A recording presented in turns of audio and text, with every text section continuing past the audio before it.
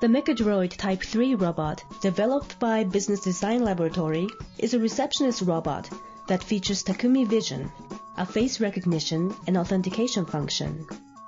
When visitors' faces are pre-registered, the robot automatically recognizes their faces and smoothly guides them where to go.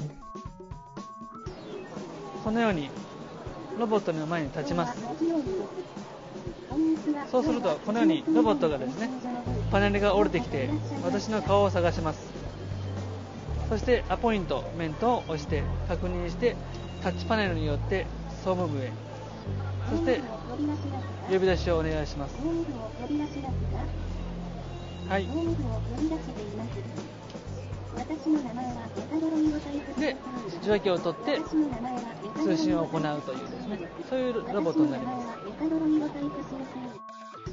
This cutting-edge robot comes with a full human interface enhanced with voice, expression, and touch display features that will boost the company's image.